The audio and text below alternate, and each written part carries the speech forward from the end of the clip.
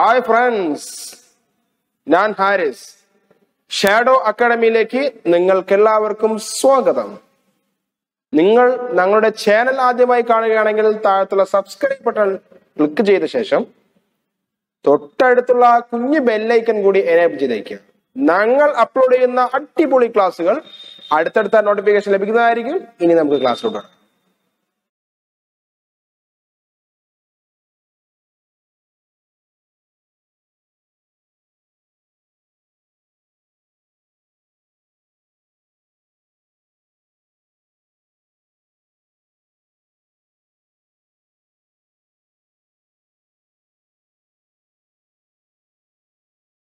Friends നമ്മൾ ഇന്ന് discuss ചെയ്യാൻ പോകുന്നത് രണ്ടായിരത്തി പതിനെട്ടിൽ നടന്ന എൽ ജി എസിന്റെ പ്രീവിയസ് ക്വസ്റ്റ്യൻ പേപ്പറാണ് അതിൽ ആദ്യ ചോദ്യമാണ്. ആദ്യ ചോദ്യം വായിക്കാം. ഒരു സംഖ്യയുടെ അൻപത് ശതമാനം നൂറ് എങ്കിൽ സംഖ്യ എഴുതും. ഒരു സംഖ്യയുടെ അൻപത് ശതമാനം നൂറെങ്കിൽ സംഖ്യ എഴുതും. ഇത് നമുക്ക് ചോയ്സ് വെച്ച് ചെയ്യാം ഡയറക്റ്റ് ആയിട്ട് ചെയ്യാം. അത് നമുക്ക് ഡയറക്റ്റ് ആയിട്ടുള്ള കാര്യം നോക്കാം. ഒരു സംഖ്യ നൂറ് നൂറെന്ന് വിചാരിക്കാം ഒരു സംഖ്യ നൂറെന്ന് വിചാരിക്കാം അപ്പൊ അതിന്റെ അൻപത് ശതമാനം എത്രയായിരിക്കും? അൻപത്. ശരിയല്ലേ? അപ്പൊ ഇവിടെ അൻപത് ശതമാനം നൂറാണ്. അപ്പൊ സംഖ്യ എത്രയായിരിക്കും? അൻപത് ശതമാനം എന്നത് ഇവിടെ നൂറാണ്. അപ്പോ നൂറ് ശതമാനം എത്ര ആയിരിക്കും? അതായത് ഒരു സംഖ്യ എന്ന് പറയുന്നത് നൂറ് നൂറ് ശതമാനം ആയിരിക്കുമല്ലോ. അപ്പോ ഇരുന്നൂറായിരിക്കും. അതായത് നൂറ് പ്ലസ് നൂറ് ഇവിടെ അൻപത് ശതമാനം പ്ലസ് അൻപത് ശതമാനം നൂറ് ശതമാനമാണ്. അപ്പോൾ നമുക്ക് ഇരുന്നൂറ് എന്ന് ഉത്തരം കിട്ടും. ഇനി നമുക്ക് ചോയ്സ് വെച്ച് കണ്ടുപിടിക്കാം. ചോ വലിയൊരു കണക്കൊന്നും അല്ലെങ്കിലും ചോയ്സ് വെച്ച് നമുക്ക് കണ്ടുപിടിക്കാം. ഇപ്പൊ ഇരുന്നൂറ് ആദ്യം ആദ്യത്തെ ഓപ്ഷനാണ് ആ ഇരുന്നൂറ് എടുത്തു കഴിയുമ്പോൾ ഒരു സംഖ്യ ഇരുന്നൂറായിട്ട് എടുക്കുക. അപ്പോ ആ സംഖ്യ ഇവിടെ ഇരുന്നൂറ് എന്ന് എഴുതുക. എഴുതിയല്ലോ? ഇനി നമുക്ക് കണ്ടുപിടിക്കേണ്ടത് അൻപത് ശതമാനമാണ്. അൻപത് ശതമാനമാണ്. അപ്പോ അൻ അൻപത് ശതമാനത്തിന് അൻപത് ബൈ എന്ന് എഴുതാം. അപ്പൊ നമുക്കിവിടെ പൂജ്യം വെട്ടിക്കളയാം. പൂജ്യം വെട്ടി വെട്ടിക്കളഞ്ഞ ശേഷം രണ്ട് ഇന്റു അൻപത്. എത്രയാണ്? നൂറ് എന്ന് കിട്ടും.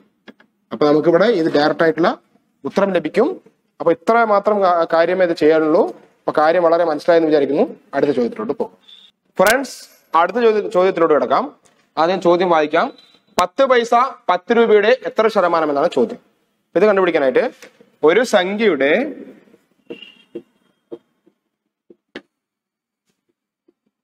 എക്സ് ശതമാനം സംഖ്യയുടെ എക്സ് ശതമാനം വൈ ആയാൽ നമുക്ക് എന്താ ഇക്വേഷൻ സൂത്രവാക്യം സംഖ്യ ഇന്റു എക്സ് ഡിവൈഡർ ബൈ നൂറ്. അതായത് എക്സ് എന്നത് ശതമാനമായതുകൊണ്ട് എക്സ് ഡിവൈഡർ ബൈ നൂറ് ഈക്വൽ ടു വൈ എന്നാണ് ഇതിന്റെ സൂത്രവാക്യം. നമുക്ക് പ്രോബ്ലം ചെയ്യാലോ? അപ്പോ പത്ത് രൂപയാണ് ഇവിടെ തന്നിരിക്കുന്നത്. സംഖ്യ പത്ത് രൂപയാണ്. പക്ഷേ ഇവിടെ പത്ത് പൈസ അതായത് യൂണിറ്റ് സെയിം ആക്കണം നമുക്ക്. പത്ത് രൂപ എന്നുള്ളത് പൈസ എന്ന രൂപത്തിലാക്കണം. അപ്പൊ പത്ത് രൂപ എന്ന് പറയുമ്പോൾ ഒരു രൂപ നൂറ് പൈസയാണ്. അപ്പോ പത്ത് രൂപനെ നൂറ് ഇന്റു നൂറ് കൊണ്ട് ഗുണിക്കുക. അതായത് ആയിരം പൈസ എന്നാണ് നമുക്ക് കിട്ടുന്നത്. അടുത്തത് എക്സ് ആണ് നമുക്ക് കാണേണ്ടത്. അപ്പോ എക്സ് ഡിവൈഡർ ബൈ നൂറ് ഈക്വൽ ടു നമുക്ക് വൈ തന്നിട്ടുണ്ട്. വൈ പത്ത് പൈസയാണ്. അപ്പോ പത്ത് എന്ന് എഴുതുക. ഇത്രയായല്ലോ. ഇനി പ്രോബ്ലം ചെയ്യാം. ഇവിടെ രണ്ട് പൂജ്യം ഉണ്ട് ഇവിടെ രണ്ട് പൂജ്യം ഉണ്ട് ഈ രണ്ട് പൂജ്യം കൂടെ വെട്ടിപ്പോകും. ശരിയല്ലേ? ബാക്കി ഇവിടെ ഉള്ളത് പത്ത് ഇന്റു എക്സും ഈക്വൽ ടു പത്തുമാണ്. ഇവിടെ നമുക്ക് പത്ത് ഇന്റു എക്സ് സീക്വൽ ടു പത്ത് എന്നാണ്. നമുക്ക് എക്സ് ആണ് കണ്ടുപിടിക്കേണ്ടത്. അപ്പൊ എക്സ് അവിടെ നിർത്തിയ ശേഷം നമുക്ക് ഈ പത്ത് ഗുണിക്കണം പത്ത് എന്നുള്ളത് ഇവിടെ ഹരിക്കണം പത്ത് എന്നാക്കി മാറ്റണം. അപ്പൊ നമുക്ക് ഇവിടെ പത്തും പത്തും ഇവിടെ വെട്ടിപ്പോകുന്നതായിരിക്കും. അപ്പൊ ഉത്തരം നമുക്ക് ഒരു ശതമാനം എന്നാണ് ലഭിക്കുക. ഇത്രയും കാര്യം മനസ്സിലായല്ലോ? ഇനി ഇതേ കാര്യം മരക്കണക്കുമായിട്ട് നമുക്ക് കണ്ടുപിടിക്കാൻ പറ്റുമോ എന്ന കാര്യം കൂടി നമുക്ക് നോക്കാം. ഫ്രണ്ട്സ് അടുത്ത ചോദ്യം നോക്കാം. അതിന് ചോദ്യം വായിക്കാം. നാൽപ്പത് മീറ്റർ നീളവും മുപ്പത് മീറ്റർ വീതിയുമുള്ള ഒരു കുളത്തിന്റെ ചുറ്റളവ് എത്ര എന്ന് ചോദിക്കുമ്പോൾ നമുക്ക് മനസ്സിൽ വരുന്നത് ഒരു ചതുരത്തിന്റെയാണ്. അപ്പൊ ചതുരത്തിന്റെ നമുക്ക് ഇക്വേഷൻ ഒക്കെ അറിയാമെന്ന് വിചാരിക്കുന്നു. ഇക്വേഷൻ ഇല്ലാതെ നമുക്ക് ചെയ്യാൻ പറ്റും. ആദ്യം ഇക്വേഷൻ വെച്ച് ചെയ്യുമ്പോൾ ഇക്വേഷൻ എന്താണ്? ചതുരത്തിന്റെ ചുറ്റളവ് കാണാനുള്ളത്. ചതുരത്തിന്റെ ചുറ്റളവ് സമം രണ്ട് എൽ പ്ലസ് ബി അതായത് നീളം ഇന്റു വീതിയാണ് ഉദ്ദേശിക്കുന്നത്. അപ്പൊ ഇത് വെച്ച് നമുക്ക് ചെയ്യുമ്പോൾ ഇവിടെ നമുക്ക് രണ്ടെന്ന് എഴുതിയ ശേഷം ഇവിടെ നമുക്ക് നീളം എത്ര വന്നിട്ടുള്ളത്? നാൽപ്പത് മീറ്റർ ആണ്. അപ്പൊ നാൽപ്പത് എന്ന് എഴുതുക പ്ലസ് ഇവിടെ വീതി എത്ര വന്നിട്ടുള്ളത്? മുപ്പത് മീറ്റർ ആണ്. അപ്പൊ മുപ്പത് എന്ന് എഴുതുക ഇത് ക്രിയേറ്റ് ചെയ്യുക. ക്രിയേറ്റ് ചെയ്യുമ്പോൾ നമുക്ക് ഇതിനുള്ളിലോട്ട് കൂട്ടുക. അപ്പൊ നാൽപ്പത് പ്ലസ് മുപ്പത് എത്രയാണ്? എഴുപതാണ്. അപ്പോ നമുക്ക് രണ്ട് ഇന്റു എഴുപത് എന്നാവും. അടുത്തെന്താ ചെയ്യേണ്ടത്? ഇത് രണ്ടും ഗുണിക്കുക. ഗുണിക്കുമ്പോൾ നമുക്ക് എത്ര കിട്ടും? നൂറ്റി നാൽപ്പത് അതിന്റെ പ്രത്യേകം ശ്രദ്ധിക്കേണ്ട ഒരു കാര്യമാണ്. അതിന്റെ യൂണിറ്റ് ആണ് ശ്രദ്ധിക്കേണ്ടത്. വിസ്തീർണമാകുമ്പോൾ സെന്റിമീറ്റർ സ്ക്വയർ എന്നും അതിന്റെ ചുറ്റളവാണെങ്കിൽ സെന്റിമീറ്റർ എന്നും നമുക്ക് ആക്കണം സെന്റിമീറ്റർ ആണെങ്കിൽ സെന്റിമീറ്റർ ആകണം മീറ്റർ ആണെങ്കിൽ മീറ്റർ ആകണം ഇവിടെ നമുക്ക് മീറ്റർ ആണ് യൂണിറ്റ് എന്നുള്ളത്. അപ്പൊ അതിന്റെ യൂണിറ്റ് എന്തായിരിക്കും? മീറ്റർ എന്നായിരിക്കും. അപ്പൊ നമുക്ക് നൂറ്റി നാൽപ്പത് മീറ്റർ എന്നാണ്. ഇത് മനക്കണക്ക് നമുക്ക് ചെയ്യാൻ പറ്റും. അതായത് ആദ്യം ഒരു ചിത്രം വരയ്ക്കുക. ചതുരം ഏകദേശം ഒരു ചിത്രം വരയ്ക്കുക.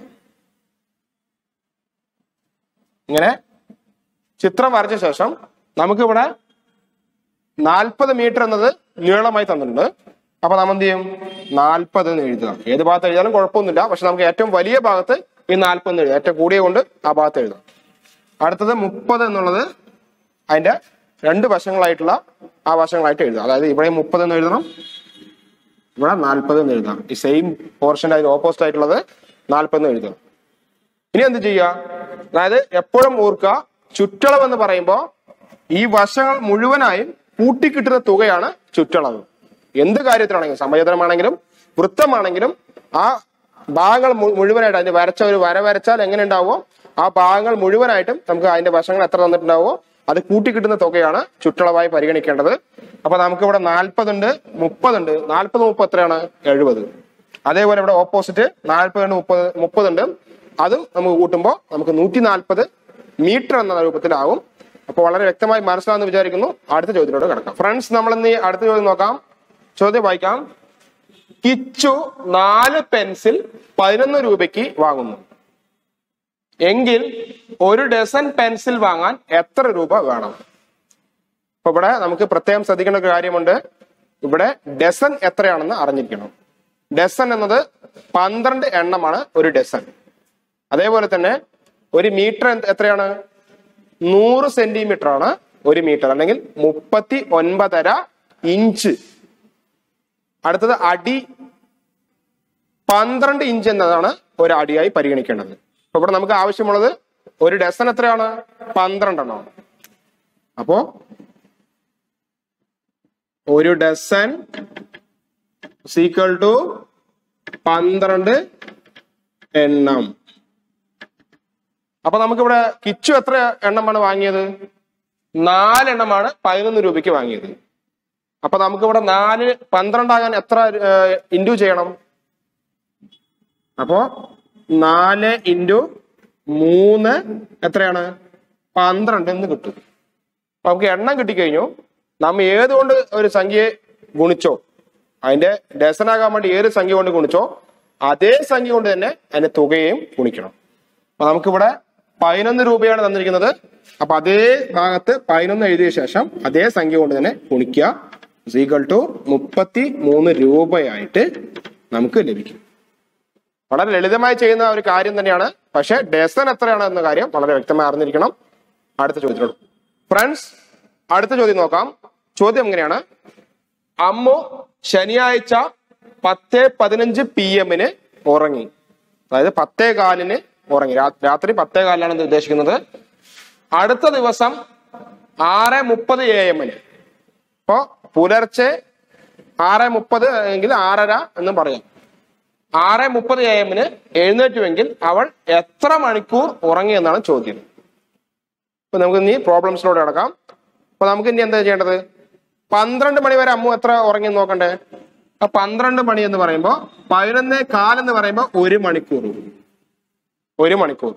അടുത്തത് ഒരു നാൽപ്പത്തഞ്ച് മിനിറ്റ് കൂടെ പന്ത്രണ്ട് മണി വരെ ഉറങ്ങുന്നുണ്ട്. അപ്പോ ഒരു മണിക്കൂറും നാൽപ്പത്തി അഞ്ച് മിനിറ്റുമാണ് ഒരു മണിക്കൂറും നാൽപ്പത്തഞ്ച് മിനിറ്റുമാണ്. പന്ത്രണ്ട് മണി തൊട്ട് ആറര വരെ എല്ലാവർക്കും അറിയുന്ന കാര്യം തന്നെയാണ്. ആറര മണിക്കൂർ. ഒരു ദിവസം തുടങ്ങുന്നത് പന്ത്രണ്ട് മണി തൊട്ടാണ്. പന്ത്രണ്ട് മണി തൊട്ടിട്ട് ആറര സമയം വരെ ആറര മണിക്കൂർ എടുക്കുന്നു. അപ്പോ അത് ഇവിടെ ആറര എന്ന് എഴുതാം.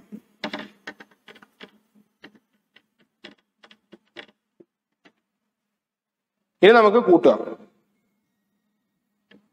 ഇവിടെ നാൽപ്പത്തഞ്ചും മുപ്പതും കൂടെ ഒന്നേകാൽ മണിക്കൂറാണ്. അപ്പൊ നമുക്ക് എന്താ ചെയ്യേണ്ടത്? ഇവിടെ പതിനഞ്ച് മിനിറ്റ് എന്ന് എഴുതാം. എന്താ കാരണം എന്താണ്? ഒരു മണിക്കൂർ എക്സ്ട്രാ വരുന്നതുകൊണ്ടാണ് അത് ഇവിടെ ചേർത്തിയാണ് എഴുതേണ്ടത്. അപ്പോ ഒന്നും ആറും ഏഴാണ് ഇവിടെ അധികമായിട്ട് ഒരു മണിക്കൂർ വന്നത് എട്ടാക്കി എഴുതാം.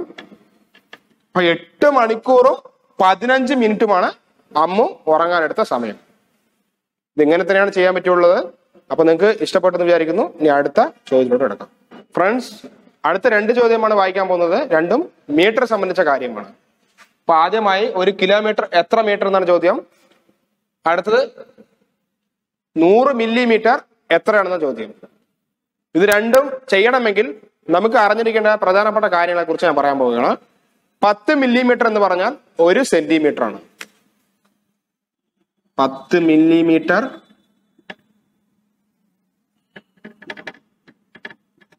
എന്ന് വെച്ചാൽ എത്രയാണ്? ഒരു സെന്റിമീറ്റർ ആണ്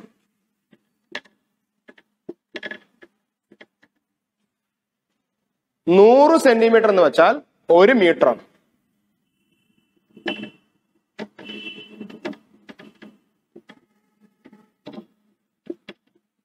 നൂറ് സെന്റിമീറ്റർ എന്ന് വെച്ചാൽ ഒരു മീറ്റർ ആണ്. ആയിരം മീറ്റർ എന്ന് വെച്ചാൽ ഒരു കിലോമീറ്റർ ആണ്.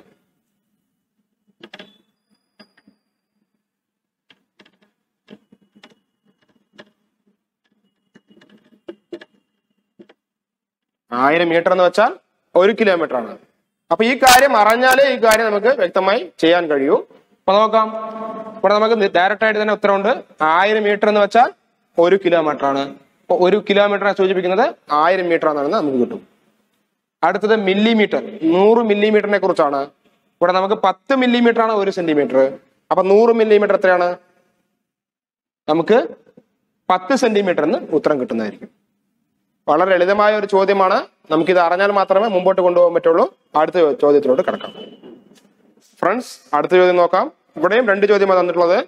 മുമ്പ് പറഞ്ഞ പോലെ തന്നെയാണ് നമുക്ക് ആ മീറ്റർ കിലോഗ്രാം ഗ്രാം എന്നിവയുടെ കാര്യത്തിൽ നല്ലൊരു വ്യക്തത വന്നാൽ മാത്രമേ ഇങ്ങനെയുള്ള കാര്യങ്ങൾ ചെയ്യാൻ കഴിയുകയുള്ളൂ. അപ്പൊ ചോദ്യം ഇങ്ങനെയാണ്. ഏഴ് കിലോഗ്രാം എന്നത് എത്ര ഗ്രാം ആണെന്ന ചോദ്യം. അപ്പോ ആയിരം ഗ്രാം എന്നതാണ് ഒരു കിലോ. ആയിരം ഗ്രാം എന്നതാണ് ഒരു കിലോ. അപ്പോ ഇവിടെ നമുക്ക് ഏഴായിരം ഗ്രാം എന്നതാണ് ഏഴ് കിലോ ആയിട്ട് ലഭിക്കുന്നത്. അപ്പൊ ഉത്തരം നമുക്കിവിടെ ഏഴായിരം എന്നാണ് കിട്ടുക. അടുത്ത ചോദ്യം നോക്കാം. ഒരു ലക്ഷത്തിൽ എത്ര നൂറുണ്ടെന്ന ചോദ്യത്തിന് നമുക്ക് ആദ്യം എന്താ ചെയ്യേണ്ടത്? ഇവിടെ ഒരു ലക്ഷം എഴുതുക. അപ്പൊ നമുക്ക് ഒരു ലക്ഷത്തിന് അഞ്ച് പൂജ്യമാണുള്ളത്. അപ്പൊ നമുക്ക് സ്പ്ലിറ്റ് ചെയ്ത് നമുക്ക് എഴു- എഴുതുകയാണെങ്കിൽ ഇവിടെ നൂറ് ഇന്റു ആയിരം എന്ന് ആക്കാം. എന്തുകൊണ്ടാണ്? ഈ പൂജ്യത്തിന്റെ ആ ഗുണിതത്തിലാണ്. ഇനിയൊരു സ്പ്ലിറ്റിംഗ് കൂടെ നമുക്ക് നടത്താം. പത്ത് ഇന്റു പതിനായിരം എന്ന് കൂടി നമുക്ക് എഴുതാൻ കഴിയും. അതായത് നമുക്ക് പൂജ്യം എത്രത്തോളം ഉണ്ടോ അത്രത്തോളം നമുക്ക് സ്പ്ലിറ്റ് ചെയ്ത് എഴുതാൻ നമുക്ക് കഴിയും. അപ്പൊ നമുക്കിവിടെ ആ നൂറ് ഇന്റു ആയിരം എന്നുള്ള കാര്യമുണ്ട്. അപ്പോ നൂറ് ഇന്റു ആയിരമാണ്. അപ്പോ നൂറ് ആയിരമാണ് ഇതിലുള്ളത് അതേപോലെ എത്ര നൂറ് ഉണ്ടെന്നാണ് നമ്മുടെ ചോദ്യത്തിലെ ഉത്തരം. അപ്പോ എത്ര നൂറാണ് ചോദിക്കുമ്പോൾ നേരെ തിരിച്ചാണ് ആയിരം നൂറാണ് ഉള്ളത്. ഒക്കെ വളരെ അധികം മനസ്സിലായി വിചാരിക്കുന്നു. ഒന്നുകൂടി റിപ്പീറ്റ് ചെയ്ത് പറയാം. നമുക്ക് ചോദ്യം എന്താണ്? ഒരു ലക്ഷത്തിൽ എത്ര നൂറ് ഉണ്ടെന്നാണ്. അപ്പൊ നമ്മളിവിടെ സ്പ്ലിറ്റ് ചെയ്ത് എഴുതിയിട്ടുണ്ടായിരുന്നു ഒരു ലക്ഷത്തിനെ. സ്പ്ലിറ്റ് ചെയ്ത് എഴുതിയിട്ടുണ്ടായിരുന്നു. അതായത് ലഘൂകരിച്ച് എഴുതിയിട്ടുണ്ടായിരുന്നു. അപ്പോ നൂറ് ഇന്റു ആയിരമാണ് നൂറ് ഇന്റു ആയിരം. നൂറ് ഇന്റു പതിനായിരം എന്ന് വെച്ചാൽ അതിനർത്ഥം പത്ത് ലക്ഷം എന്നാണ്. അപ്പൊ അത് നമ്മുടെ ഉത്തരത്തിൽ ഉണ്ടാവില്ല. അപ്പോ നമുക്ക് നൂറ് ഇന്റു ആയിരം എന്നതിനാൽ അപ്പൊ നമുക്ക് ഉത്തരം എത്രയാണ്? ആയിരം എന്നാണ് ലഭിക്കുക.